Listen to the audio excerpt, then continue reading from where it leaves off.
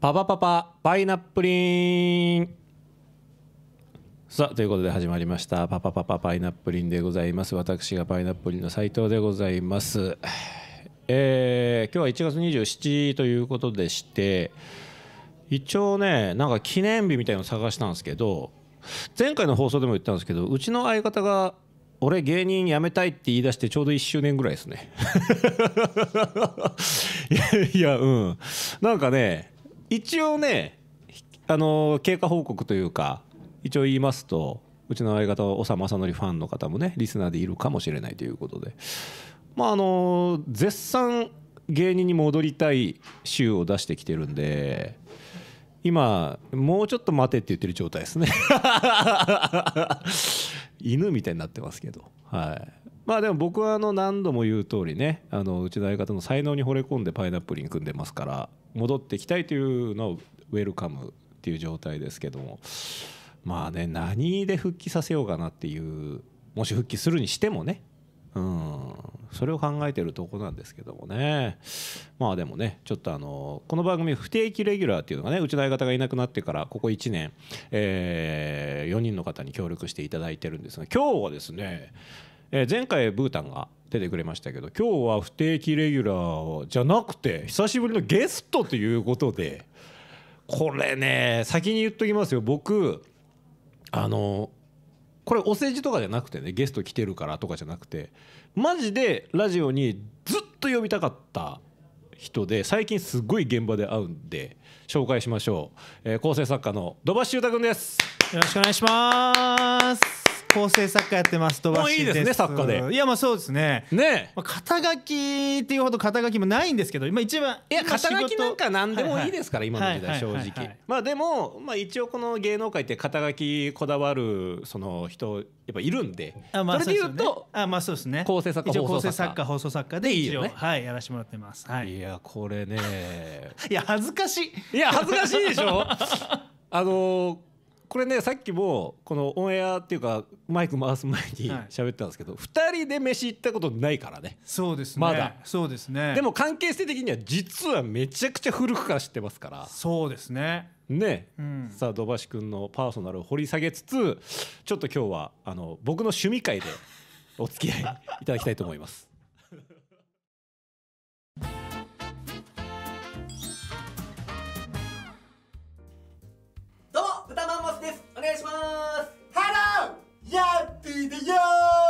せんね。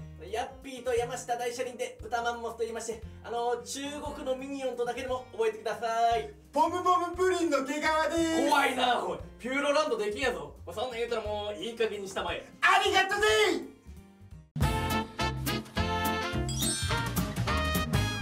どうもアーシングステップです。元警察官の小松と、えー、反射でやってます。見た目で判断すんじゃねえよお前えー、ブレイクダンサーとアイアンマンでやってます。お前が一番見た目で判断してるやないかい。さあパパパパパイナップル本日のゲストもう久しぶりのゲストですよね。土橋君ってことで。はいお願いします。まああの本当に本当は放送作家構成作家だから、はい、こういうところにはまあ、基本世の中の認識としては出ないそうですね。ってことでしょ、まあ、すごい有名な方とか出られてる方ねいらっしゃいますけど。あそうそうそうあのちょっとねそれに憧れもあるっていうのもあって もうたけしさんのとかめっちゃ聞いてた人だから昔中学生、ね、中1の頃とかさ、まあ、それはさておきですね、はい、あの土橋君は今、作家さんやってるんですけどそうです、ね、だ僕今現場で会う時は完全に作家としてだもんね、うん、そうですね。はい。あと今日このラジオの前に1本、うん、えー、2人で MC する番組があって、それぐらいでしょ？今出役。僕今出てるのそうですね。もう、えー、ワロップのその番組だけマジか、はい、いやこれねなんでそういう状態の話をしてるかというと、はい、土橋君は実はですね僕が言ってた渡辺の養成所の後輩にあたるそうですね。もともと芸人さんですそうですねはい。いや芸人から華麗なる転身いや華麗なるじゃないですけどいや一番羨ましいでしょ。芸人から作家になるって一番羨ましいパターンよ。そんなことはないと思う。マジで。あのいらっしゃいますよでも力士がそのまましっかり親方になるみたいな、はい、ああ本当ですか。ちゃんこ屋じゃなくて。ちゃんこ屋じゃなくて大体ちゃんこ屋に行くんですけどちゃんと親方になってるみたいな僕イメージあって。そんなことはないんですけど。いやでもなんかねこの芸人にやって芸人やってた時に実は全然絡みがなくて。そうですね。いやライブではあったよもちろん。はいもはいはいはいはい。だけどライブとかではあったけど、は一緒に飯行ったとか記憶ないでしょだって。俺とはそうまあ何人かやっぱいっぱいいる状況とかはいはいの時が多かったですよね。だよね、はいはいではい。土橋が何期9期？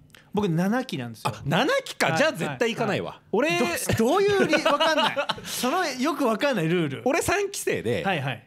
俺10期生から連れてくみたいなへえなんか暗黙ルールがあったんですよ。何ですか？それいつから発生したんですかそれ。いやなんとなく。だってあの渡辺の養成所って半年区切りだから、はいはいはい。俺1個上の2期生ね、はいはい。だからその今でいうバービーさんハライチ。そうですね。先輩と思ってなかったし、うんはいはいはい。あと1個下の4期生うんうん。も、えー全然後輩と思ってない節があって、はいはいそこってなんか一緒にご飯行くと変な感じになる、へえでよく俺2期生とかとかめっちゃ喧嘩してたし。あそうなんですね。はい、だって偉そうなこと言ってくるから「いやおはい前半年しか違う。なんなら俺の方が先にやってるからお前後輩だよ」とか 俺言ってたりとか。暴れん坊じゃないですか。渡辺って割とこうフラットというかあんまり先輩後輩とかが、はい。なんかあんまり行き届いてないとこもいっぱいあったから。でも当時はやっぱりまだ血気盛んで仁義なき WCS だったんですよ。ああなるほど。あったんですねそういう。でその中でも割と僕は暴れん坊の方だあったんで。ー暴れん坊ですね。まあでも本当で僕のイメージからしたら、うん。結構斉藤さんがスクールの大体のそういう、えーイベントの MC やられてたりとか、はいはいはい。まとめ役ってイメージ。いやそれを。3期生ですよね。だから僕はその師匠みたいな方がいらっしゃって、はいはい。桑原さんっていうそうね。方がいらっしゃって僕も同じ師匠ですよ、はいはい、の、うん。えー、とまとめるイベントとかは、3期生のうん。斉藤さんがしたから、あ3期生から始まってんだみたいで2期生も出てるしどういうことっていう感じいやでしたけど。でもそれはねもういろいろ裏があるんですけど、はいはい。でもそのし渡辺コメディスクールの今でもその偉い人やってる桑原さんって方が、はい。え3期生からそのちゃんとやりだしたんですよ。講師みたいな。あそうなんですね。教務みたいなポジションあそうなんですね。でその初めての教え子なんですよ。ああるなるほどなるほど。だから何でもかんでも斎藤みたいな。ああなるほどなるほど。だから僕が今歯科医業をやらせてもらってるのその人のこき使いのおかげですから。鍛えられたんですね。鍛えられました、はいはい。どこでも1年目2年目オールノーギャラで行ってましたから、はいはい、あーなるほど。それはもう鍛えられましたよへねー。まあでもそういう関係性の中でそうですね。やっぱね7期ってね、はい。まだ俺の中でちょっと後輩になりきってなかったんですよ。え？ー、だってちょっと、まあ、ツートンカラーでコンビやってたんだけど、土橋が、はもう初め漫才見た時、い。はもう面白くて嫉妬心でいいやいや。もうぶっ倒してやるって後輩。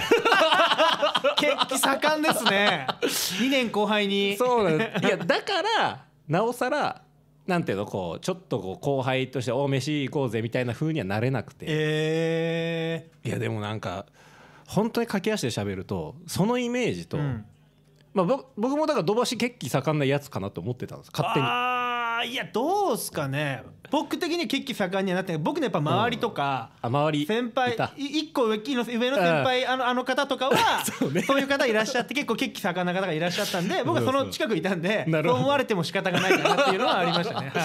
いやね6期生に本当だ血気盛んの代表格みたいのがいてね。はい。僕この前あの4期生だってケチンダコチンのはい。イッチと仲良くて結婚式の司会やらせてもらってその時にその6期生のやつも来てまあもう仲いいんだけどもうはい。今は。でも当時血気盛んだったよねって話しながら飲んだはらめちゃくちゃ喧嘩見たくなりました。ええい まだに？ってことですか？いまだに。すごいなそれは。いやだからやっぱりねすごいわ。だからそこってやっぱこう何が言いたいかっていうと、ん。この最初のイメージを拭うのって結構大変でなるほど自分自身を変えるのも大変だし、うんはい人に対する勝手に思い込んでるのも変えるのが大変なの、はいはいはい。で、はいでだな、はいはいはい。その土橋は俺もう勝手にスーパーチャラ男だと思ってたのよ。ああでも多分思われてると思いますあ絶対。そうかそれ自覚はあったんだ、自覚あります。はい。でも実際今、まあ、もちろんお互い年取ったからってのもあるけど会って喋ったり一緒に仕事してみたら全然チャラくねえのこいつ。本当に。いやまあ全然チャラくねえから。ええと思って。え当時は実際チャラかったの？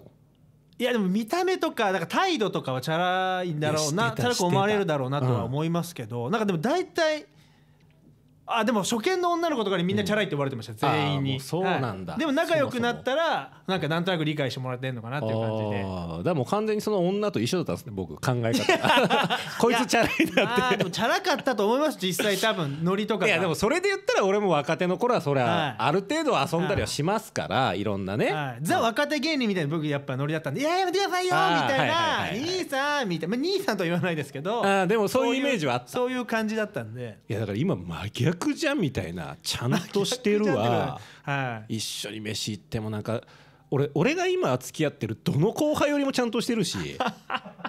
いやほんとそうよ。いやあなたがつけた後輩がやばいんですよ。まあまあね。まあ代表的なのは花子の菊田ってやつなんだけど、ね。本当に最近だって石井てるみも俺にタメ口だし、え本当ターチューンっつって呼んでくるし、はいはいはいはい。すごいな。いやでも本当は僕もそういう風な人なんですよ。それが平気だしその方が好きなのもともとっすか？その10期生以降からそうなったんですか？あでもそこで完全にそうだね。へえ。だからもうタメ口はさすがに、はいはい。あのやりづらいけどタメ口で別にやりづらくない人はどうぞって言ったらもうノラとかははい。最初からタメ口だし。だって年下じゃんターチューンみたいな まあまあそっか。ノラとかはそうですね。あいつ13期だけどね。だいぶ後輩ですけどね。いやだからはい本当でも俺も多分勘違いされてたと思うんだよね。土橋ぐらいの期からすると印象的に多分なんかそういううーんはいはい。どっちかっていうとしっかりめちゃくちゃしてるなっていうイメージでしたね。怖いとか思ってたの？面倒くさそうとか。怖いとかは全然思ったことないどういうあれだってもうこれ忖度なしで別に。だはってえ正直めっちゃ嫌われてたから俺。い誰からそ の周りの芸人多分多分ね。多分いろんな人から嫌われてたと敵作るタイプだったからももう俺も今とは真逆なんだけどうんはいはいはいどうだったんですか？割とでも渡辺のそのスクールの流れ的に結構みんながみんな仲いいみたいなイメージでね。うん。でまあ所属してるとグループとか特に大体ずっと一緒だから仲良くて斉藤さんとかそこに入ってな入ってこないなとは思ってました。まああーそうね。えっと相方さんもはい奥田さんも含めなんか自分たちの空気感でえこうやってるなという感じがあって。ダッサ。パイナップルにダッサいな。いやでもそれはもうはっきりとそういう意識はあったね。あったんですか？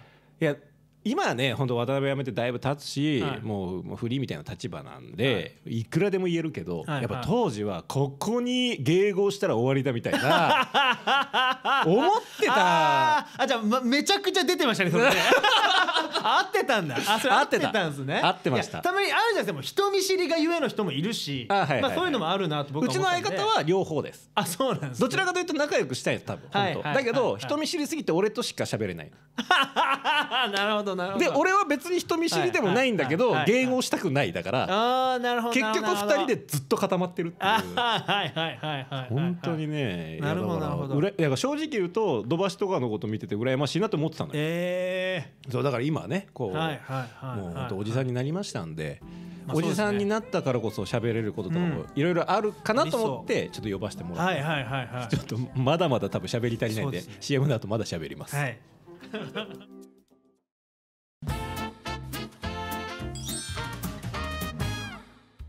こんな格好ですいません。トランキーロ三郎と申します。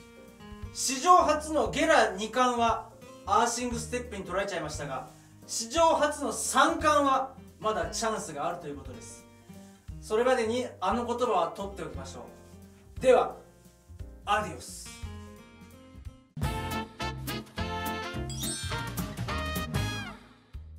はい、えー、渋谷と内田の渋谷です。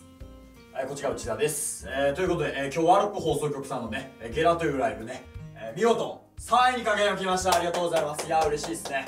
いやー、20組中3位ということで、いやー、今日は嬉しかったんですけれども、内田さん、どうでした？悲しい。悲しかったんだ。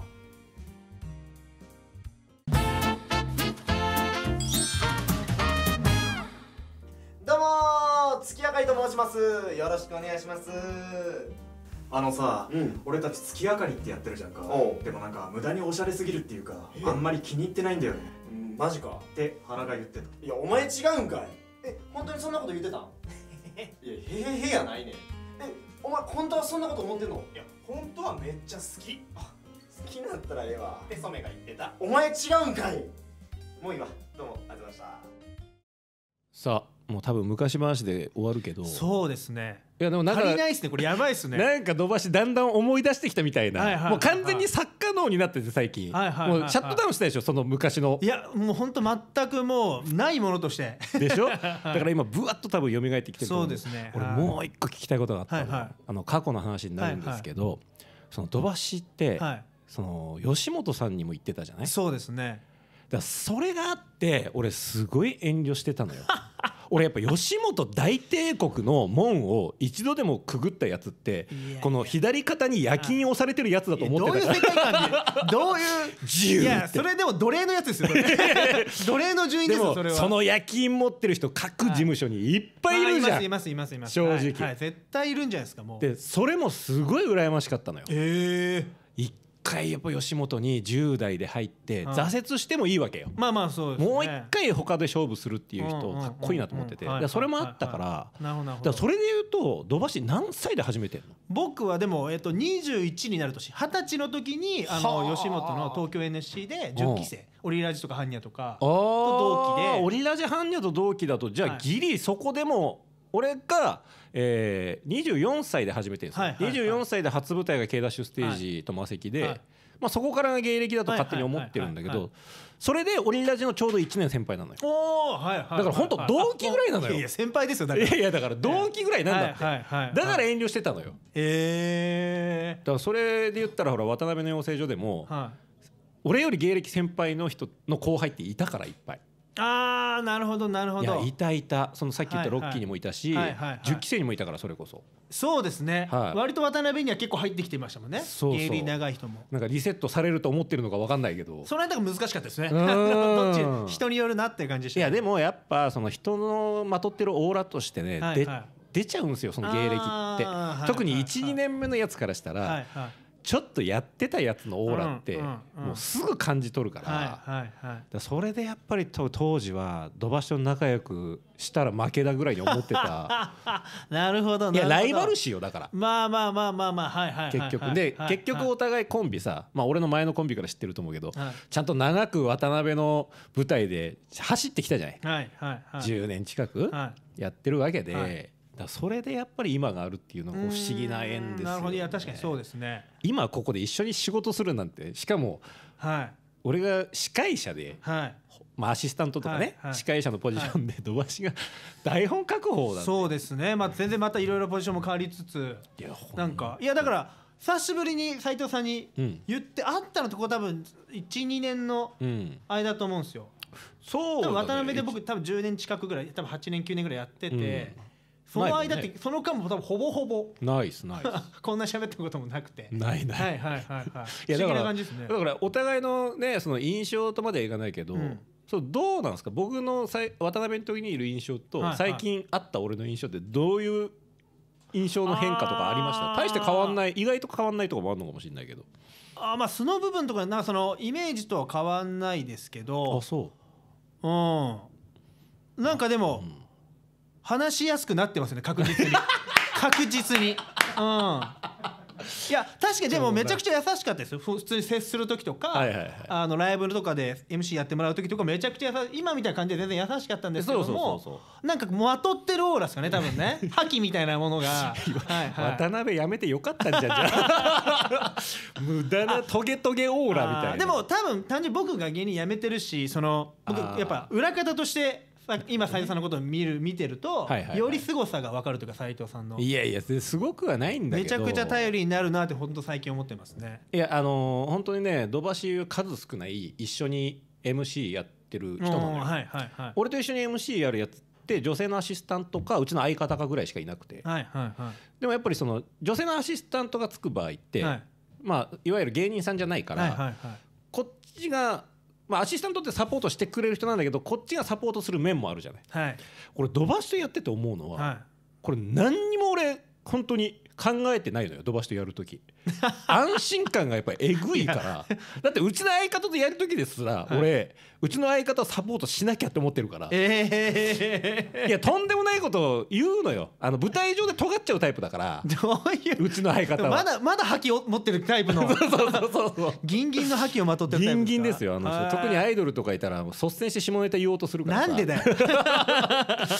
だからこういやおかしいだろうなるほどなるほど一応この張り詰めてるというかこそうなのよ。意識はそっちに向いてるわけですね。でやっぱねここ3か月ぐらい一緒にやらせてもらって思ったのは、はいはあとやっぱこの作家さんだからかもう分かんないけど土橋にももうその頑張って司会しよう感がいい意味でないんですよ。ああはいはいはい。なんかわかる？仕切ろうみたいなのがないですね。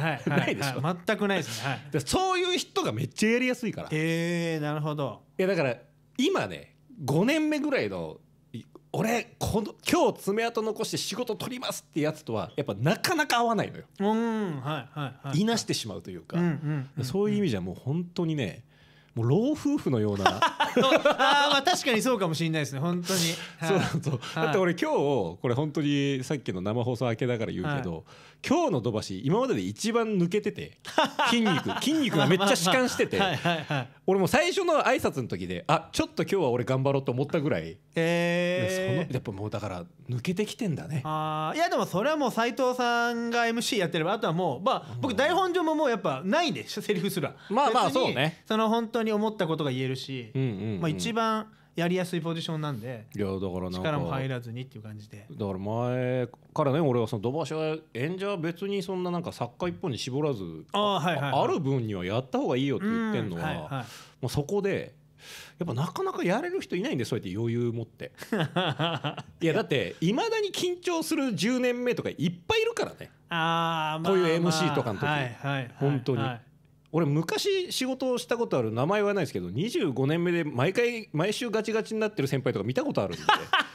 本当ですか？本当に。本当ですか？前室でめっちゃ流暢であーはい「体力よろしくねね」みたいな。あめっちゃこの人喋るの面白いと思って。毎週ガチガチになるから生放送で。目標がめちゃくちゃ高いんですかねやっぱこう。あそういうことじゃないですかだからそ僕はそう捉えてましたね、はい。だから僕はそれはいサポートするっていう役割にすぐシフトチェンジしましたけど、えー、うわやべえでももうそんな時間ないですね。そうですよもうラジオってこんなな時間ないですね。そうですもうだからねこれはもうあの渡辺コメディスクールのライブをよく見に来ていて気に来てた人ののリスナーは垂前の話を今ああはいはいはい、はい、日ちなみに今はどういう仕事中心ですか？まあ構成作家そうですね。こうイベントとかの台本書かせてもらったりとか、まあ、あとはもう本当まあ、小島よしおさんに仲良くさせてもらってての雑記でいろいろやらせてもらってたり YouTuber さんの構成やらせてもら今そったりとか。こあるからね。そうですね。でかいよね、はいはいはいはい。だから本当こういう時期、うん。それこそ外に出れないみたいなまでは結構イベント関係を僕自分で主催してやってたあやってたね。それができないってなった時に、うん。結構そういうリモートでできる仕事が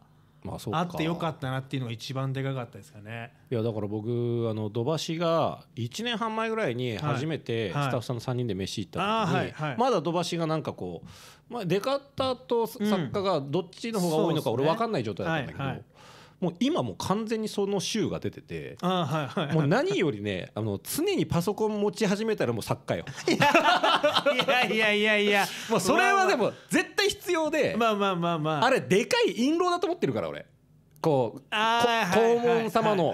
ね。本当もうパソコン持っはてい。現場来たら、はい。あこいつもうできるやつだっていうあれも印籠みたいなもんだと思ってるから。だとしたら考え方古すぎますよ。やばいやばいですよそれ。いやいやでも俺はい。やっぱそのさっきも言ったけど憧れがあって、はいはい。芸人辞めて作家やりたいみたいな気持ちもはいはいもちろんいまだにどっかあるんですよ、はいはい。でもやっぱできないのはそのパソコン持って歩けない自分がいるんですよ。体力的にですか？じゃなくてそそんな重たいの持たないの。よそんなデスクトップ持って歩いたら頭おかしい。いやでもなんかねそれは多分何かあった時パッとパソコン開いてやるっていう、まあ習慣がないだけかもしれないけどなんかだったら喋っちゃうみたいな感じだからそれがもう完全に飛ばしは「あ分かりました」ってパッと開いてはい。メモるとかいう方に行ってるじゃん脳が。そうですね。あれよなと思った。だからあの時俺認識したもん。喫茶店でパッてあーはい開き方もなんか多分俺が今持ったら、は今開きますよって開いちゃうから。かっこつけちゃうんですねちょっとね。肩に力入っちゃってるいつの間にか開いてたから、はいはやっぱそういう意味ではね土橋君はもう作家さんになったんだなってい いやいやいや恥ずかしい。はい、この後エンディングです。はい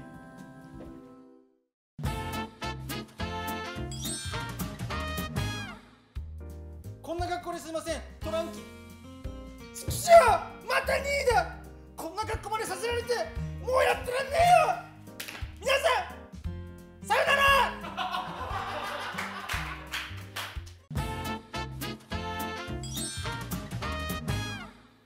どうも千葉原です。よろしくお願いします。いや今度ね、初めて行くところがあるんですけど、えーどこ行くの？めちゃくちゃワクワクしてるんですよもう。この時期だったらもみじ狩りとかだよもみじ狩もっとワクワクしちゃう。分かんないちょいちょいはしゃぐなよお前どこ行くなよ？お葬式です。はしゃぐなよ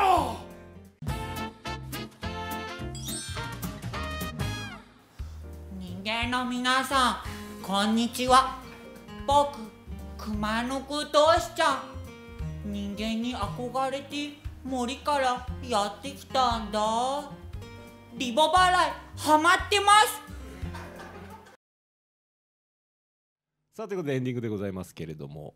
いやもうあっという間に。そうですね。もう昔話喋ってたらこうなるんですよ本当に。そうですね。もうあっという間で、うん。結構喋りたいことまだまだあるなって感じだったんですけど。でしょ？はい。やだからこれぜひねあの次回も来てもらおうかなと思ってて。いえー、いいんですか？いやもうそれはお願いします。えいー、やだって過去の話ばっかりしてもしょうがないじゃんお互いねはい。おじさんになったとはいえ、あの輝かしい未来はあまだ待ってるわけですから、そういう話もできたらなって思うわけですけど、うん。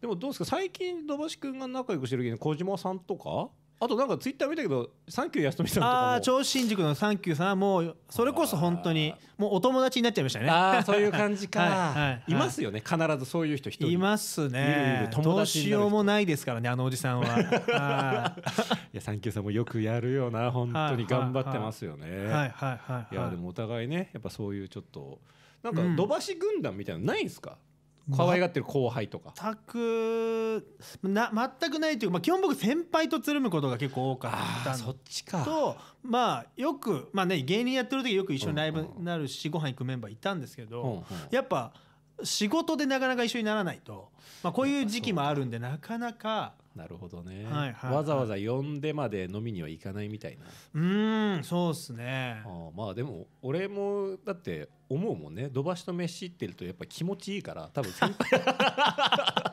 先輩に対して上手なんだろうなって思ういやいやいやいやでもそれこそあの準レギュラーですか,か、はいはい。なんかレギュラーみたいなブータとか。はいはいはい。はよくます。じゃあ今度さもう3人だよそれもうブータンあとーはいはいはいはい。俺もそう杉渕は年に2回ぐらい定期的に行くんですよ。はいはいはいはい。なんでぜひね。あぜひぜひぜひそうだそうだ。あいつはい今実家帰って今腰言わしてからすごいおとなしくなっちゃって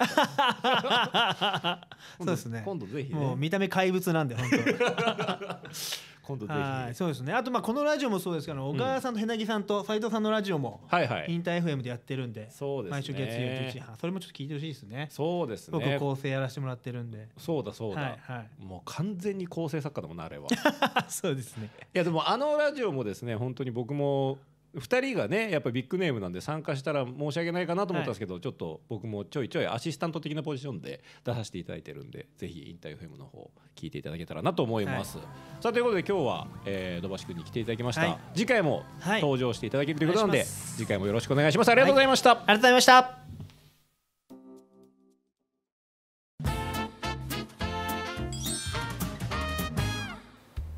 指揮者と大声奏者で。パノシャープです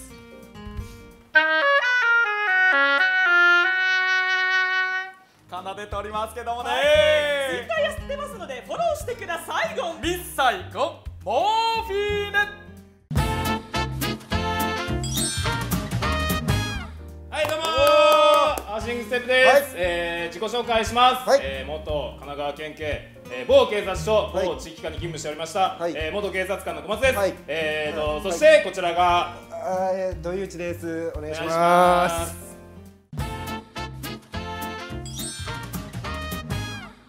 どうも豚マンモスです。お願いします。ハロー!ヤッピーでよやっぴワロップの CM 出れて嬉しいな。嬉しいね!最高です!万歳!万歳!いや万歳の仕方が亀田四郎。最後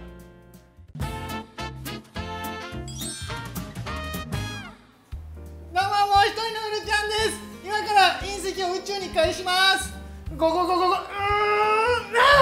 ーパワフルちゃんウルちゃんウルちゃ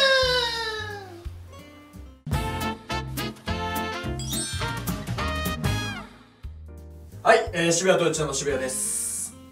はい、こちが内田です。えー、ということで、えー、今日ワルプ放送局さんのね、えーゲラというライブね、えー、見事3位に輝きました。ありがとうございます。いやー嬉しいですね。いやー20組中3位ということで、いやー今日は嬉しかったんですけれども、内田さんどうでした？悲しい。悲しかったんだ。